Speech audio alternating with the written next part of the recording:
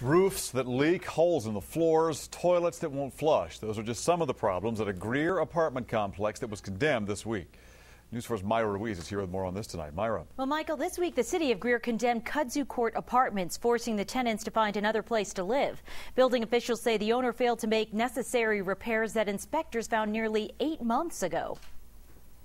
It caused the room to mildew in here. Devonda Miller pays $400 a month Had to take water out, out the bathtub and pour it in there, flush the commode. to live in this two bedroom apartment with her five children. Why should we pay any rent if we live in the way we're living?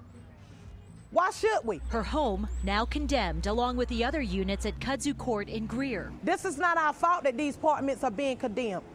Why should we have to move out and find us somewhere to go? They should find us somewhere to go. The condemnation notices were posted on Monday after the city ordered the owner in July to make some necessary repairs inside the units. His contention was he was just given uh, a notice to repair one, but looking at our records, he was given a notice to repair all eight, which he has not done. City leaders are now working on an ordinance to protect tenants by requiring inspections at existing apartments at least once every three years. That will allow us to go in to rental units prior to them being rented to make sure that they are up to codes.